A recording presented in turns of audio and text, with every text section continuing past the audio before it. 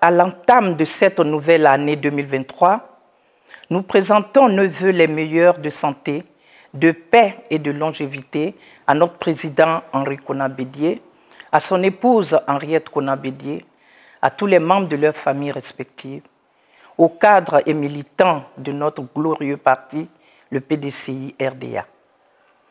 Nous ne saurions oublier les vaillantes populations de Trècheville, nos braves militants, afin que cette année nouvelle soit celle du changement tant espéré dans le quotidien des populations de notre commune, d'où les fondamentaux de la Côte d'Ivoire ont été conçus par le Père de la Nation et ses compagnons. Aux Ivoiriennes et Ivoiriens, nous souhaitons une année de paix, de cohésion sociale et une vraie réconciliation inclusive. L'année 2023 est une année élective. Le rôle de la CEI est déterminant dans l'atteinte des résultats tels que la cohésion et l'unité nationale.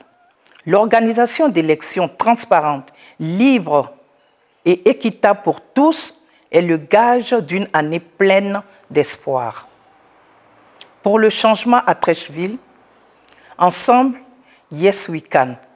Bonne et heureuse année 2023.